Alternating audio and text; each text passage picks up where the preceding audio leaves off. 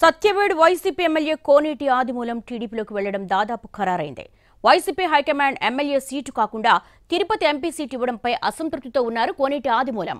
మంత్రి పెద్దిరెడ్డి రామచంద్రారెడ్డిపై తీవ్ర ఆరోపణలు కూడా చేశారు.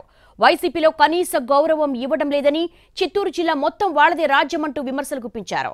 వైసీపీ ఎమ్మెల్యే సీటు నిరాకరించడంతో టీడీపీ టచ్లోకి వెళ్ళారు కోనేటి ఆదిమూలం.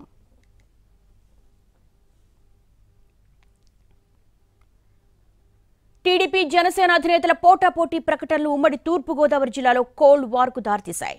మొన్నటి వరకు కలిసిమెలిసి కార్యక్రమాలు నిర్వహించిన ఇరు పార్టీల నేతలు ఇప్పుడు కస్సుబుసులు ఆడుకుంటున్నారు. నాలుగు నియోజకవర్గాలకి ఈ రేంజ్లో ప్రచ్ఛన్న యుద్ధానికి దిగితే పూర్తి స్థాయిలో అభ్యర్థుల్ని ప్రకటిస్తే పరిస్థితి ఏంటి అన్న చర్చ నడుస్తోంది. ఏ ఏ స్థానాల్లో పోటీ చేయాలన్న అంశంపై ఒక అవగాహనకు రాకముందే తెలుగుదేశం జనసేన అధినేతలు చెరో రెండు స్థానాల్లో అభ్యర్థుల్ని ప్రకటించడం గందరగోళంగా మారింది. ఇరు పార్టీల కేడర్లలో అసహనానికి కారణమైంది. మండపేటలో మరోసారి సిట్టింగ్ ఎమ్మెల్యే జోగేశ్వరరావును ఆశీర్వదించాలని అదే వేదికపై నుంచి చంద్రబాబు కోరడంతో జన సైనికులు ఒకంత షాక్కు గురయ్యారు.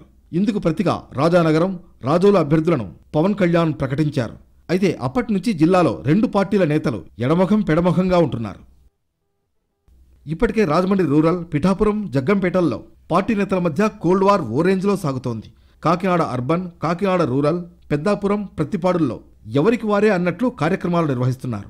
అమలాపురం రాజోలు కొత్తపేట వంటి నియోజకవర్గాల్లో నామకే వాస్తే పలకరింపులతో సరిపెడుతున్నారు.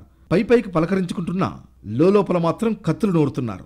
కేవలం శాంపుల్గా నాలుగు నియోజకవర్గాలకే ఇంతలా రగిలిపోతే మొత్తం స్థానాలకు ప్రకటిస్తే పరిస్థితి ఏంటని కార్యకర్తలు మాట్లాడుకుంటున్నారు.